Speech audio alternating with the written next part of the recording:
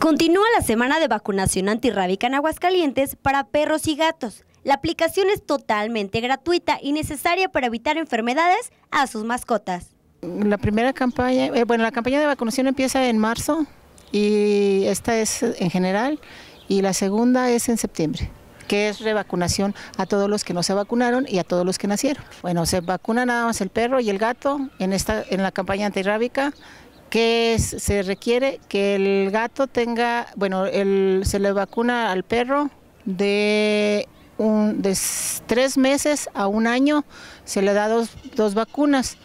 La primera que es en, en, este, en, esta, en esta fecha, que es marzo, y en septiembre, que sería el refuerzo. Se les vacuna dos veces a menores de un año y a mayores de un año una vez al año. La campaña de vacunación dio inicio el 26 de marzo y finaliza el primero de abril. Este, es importante porque hay que mantenerlos este, pues, sanos y con sus vacunas al corriente, simplemente para, pues es un cuidado para ellos. Claro que sí, este, es una responsabilidad de uno como dueño de, de la mascota. Para prevenir cualquier enfermedad, ¿verdad? En este caso la rabia. Exactamente, así es.